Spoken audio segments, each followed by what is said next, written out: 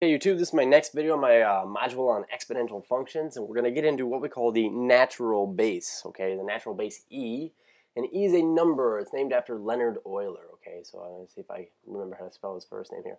Uh, I think it's I think it's this, I, I could be wrong, orally and hard, you know, uh, but Euler, this is interesting, some people say Euler, it's Euler, okay, he's a Swiss mathematician and he wrote a lot of papers as a matter of fact, but without going into him too much, uh, this number is given uh, or credited to him. And so we say E is about 2.718281828. I think it's 159. It goes on forever and ever. It's a transcendental number.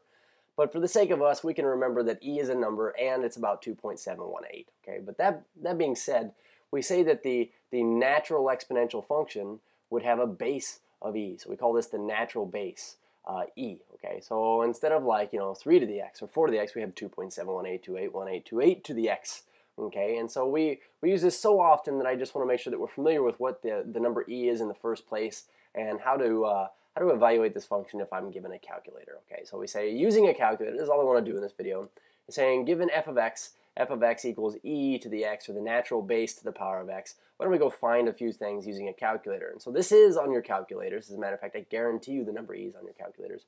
But if we wanted to find f of 6.2, this would be the same thing as uh, e to the 6.2 power. And this will come in handy when we start evaluating for like compound interest. But we'll pull out the calculator here, uh, bring it down here so we can see a little bit easier. Uh, but you notice I have an e button here. I say e to the power of uh, 6.2, and it looks like we get about a 492.74. so we get approximately uh, 490 2.74. So we broke no sweat.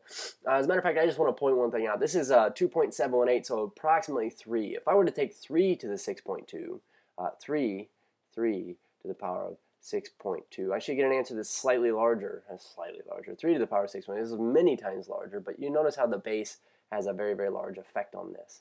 Okay, so we'll clear this out here. Uh, how about how about our next stop here? We say let's go find f of f of negative 0.4.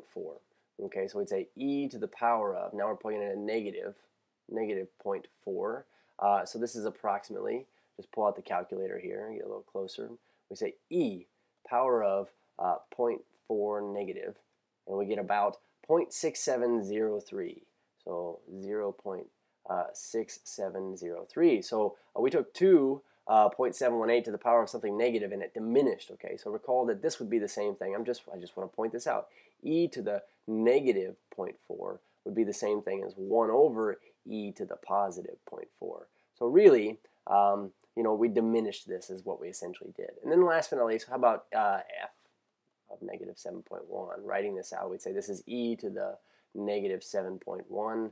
That's the same thing as 1 over e to the positive 7.1 but this should be rather small when we do this, okay? So we say, all right, I've got e power of uh, 7.1 negative, ooh, okay, so 0.0008 or 0.00, 0.000833-ish, okay? But uh, this the natural log base or the natural exponent base, e, it's equal to 2.718, and you can use your calculator to evaluate for uh, the natural uh, exponential function as having e as its base.